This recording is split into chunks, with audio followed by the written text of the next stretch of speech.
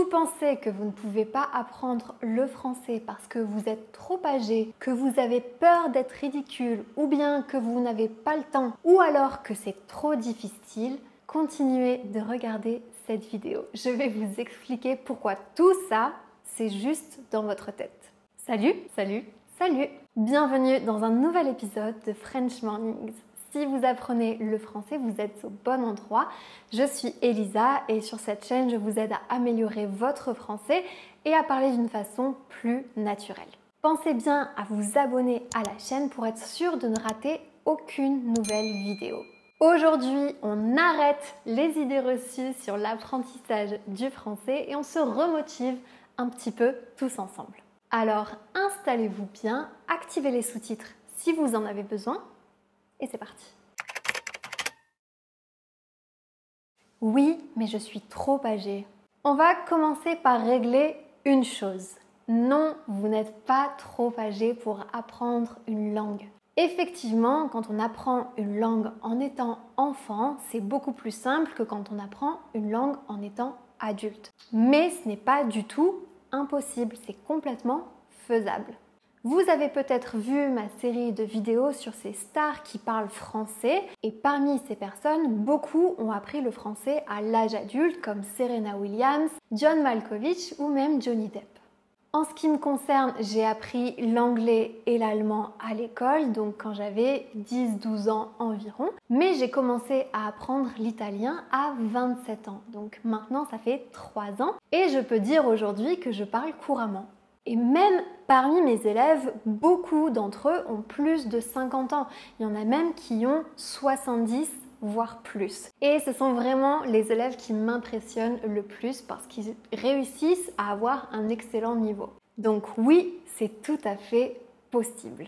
D'ailleurs, si vous voulez apprendre le français grâce à mes cours en ligne, je vous laisse le lien sur lequel vous pouvez cliquer dans la description. Je vous recommande vraiment de jeter un œil à mon cours de prononciation parce que mes élèves l'adorent.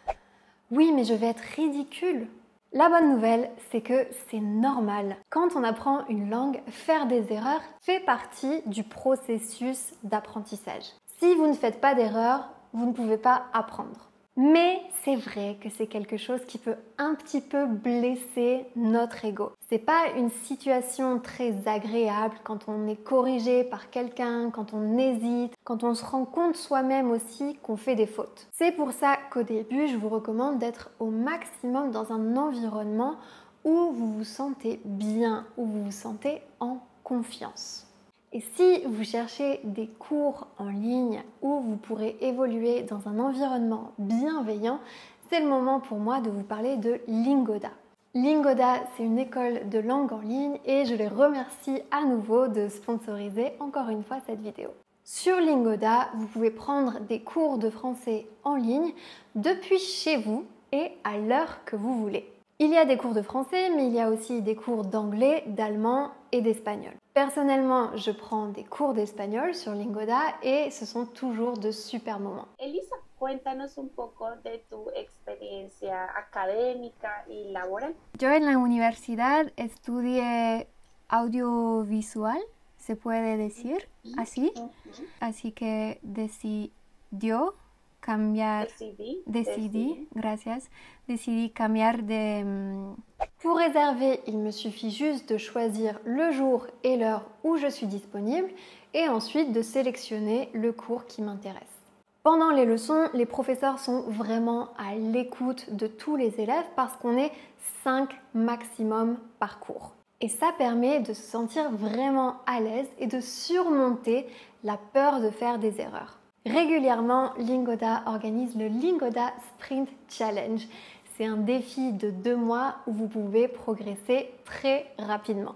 Si vous participez à 30 cours par mois pendant deux mois, Lingoda vous rembourse à 100% de cashback. Et si vous avez un emploi du temps un peu plus chargé, vous pouvez aussi participer à 15 cours par mois pendant deux mois et être remboursé à 50% de cashback. C'est vraiment un super défi et une très bonne occasion pour se remotiver un petit peu.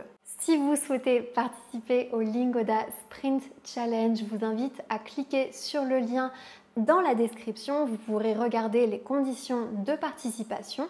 Vous pouvez aussi utiliser le code qui s'affiche à l'écran et bénéficier de 25 dollars de réduction à votre inscription. Oui, mais je n'ai pas le temps. Honnêtement, aujourd'hui, qui a le temps? C'est quand même assez rare d'entendre quelqu'un dire moi, j'ai plein de temps. On a toutes et tous des vies bien remplies et des journées plutôt chargées. Donc l'idée, c'est pas de transformer complètement votre quotidien, mais plutôt de l'adapter. Essayez de choisir le bon moment de la journée où vous avez un petit peu plus de temps pour vous poser et apprendre un petit peu. Pour ça, vous pouvez essayer d'analyser les routines que vous avez déjà mises en place et essayer de trouver le moment qui correspondra le mieux à une session d'apprentissage.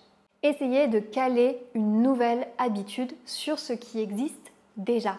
Et en plus de ça, essayez de donner de la place au français au maximum dans votre quotidien. L'idée, c'est simplement de remplacer ce que vous faites déjà dans votre langue maternelle par la même chose en français. Il y a vraiment plein de choses que vous pouvez faire comme écouter de la musique, lire des livres, regarder des films, etc. etc. Si vous avez besoin d'un petit peu d'inspiration, je vous laisse le lien d'une vidéo que j'ai faite à ce sujet qui peut vous donner des idées. Oui, mais c'est trop difficile.